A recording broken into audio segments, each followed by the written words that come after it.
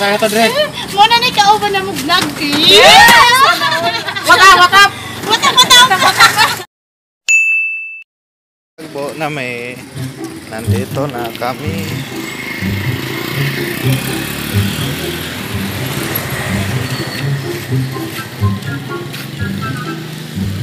Ato ah si Milan to.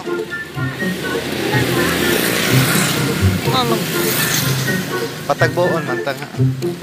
Naman si Milan di ay.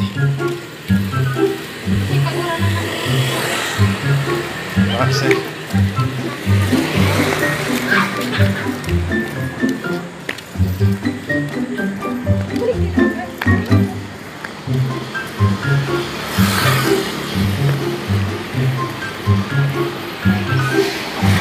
Welcome sa Nakabay.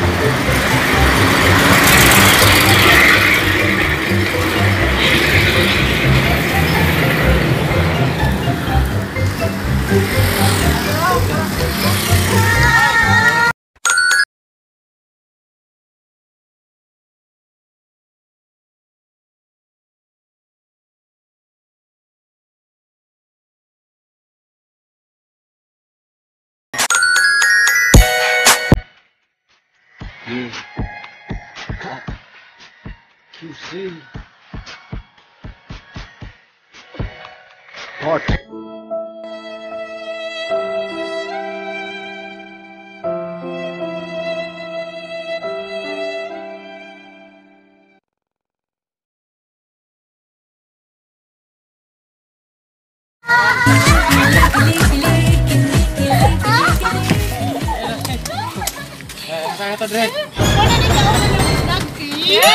sana oh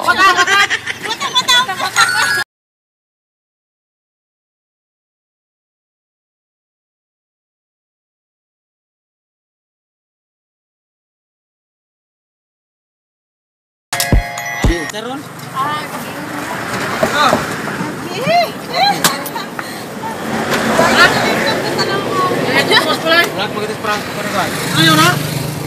Ah, nak. Na na. Ah, tigda na. Kay akong pita, dako uwi ka. Ha? Ari ka. Ari ko layo. Uy, hindi ako si Mararon. Ha? Dito ko si Bo. Dito, ikan sa. Eh, dito. Eh, nag-ingon sa kawa to plete. Free ra. Wala tayo ka na mo. Nag-usap ka si mo. So, what's up guys? So, ayan na guys. Nakarating na po ako dito sa Dumaguete City. So, sinundo ko ng kapatid ko at yung isang babae. Ayan. So, ayan, saya-saya nila si makasama na daw ako sa vlog ah, sila.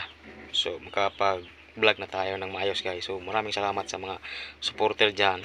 So, yun ang dahilan bakit ako tumigil sa pagtrabaho kasi sabi nila, suportahan ako na sa aking pagpa-vlog. So thank you thank you sa inyo guys. To ito naman si Boy Martin Vlog at subscribe niyo aking YouTube channel at paki-follow sa aking Facebook page. Sana ma-support niyo guys kasi uh, uwi ako dito para makapag-focus at makapagawa tayo ng ah, magandang content. So abang-abangan niyo guys kasi ito muna yung iuna ko pag-upload kasi yung mga magandang content anan susunod na lang to. So, shout out sa mga lahat ng supporter dyan. So, shout out sa ate Cecil at sa mga kanyang kasama, kanyang kapatid at sa kay shout out kay Jimmy GMP Moto Vlog, shout out kay Bulubid. Shout out sa lahat ng mga kasama ko dyan sa Cebu. Yung mga kasama kong vlogger dyan. So, kay Doku TV, oh, shout out dyan. Kay Bulubid, kumusta na ka dyan? Kay King Gidor, oh, King Gidor. So, shout out. Thank you, thank you. So, see you next vlog guys. Thank you, thank you. And God bless and God bless sa inyo.